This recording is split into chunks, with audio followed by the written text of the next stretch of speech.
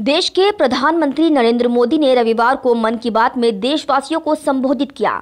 ये उनके मासिक रेडियो प्रोग्राम का तेरानवा एपिसोड रहा।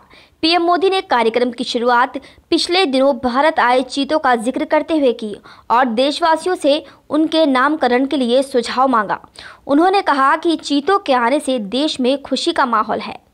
वहीं जलवायु परिवर्तन का ज़िक्र करते हुए उन्होंने देशवासियों से तटों को साफ़ रखने की अपील की। इसके साथ ही पीएम मोदी ने ऐलान किया कि 28 सितंबर को भगत सिंह की जयंती के मौके पर चंडीगढ़ एयरपोर्ट का नाम भी बदला जाएगा।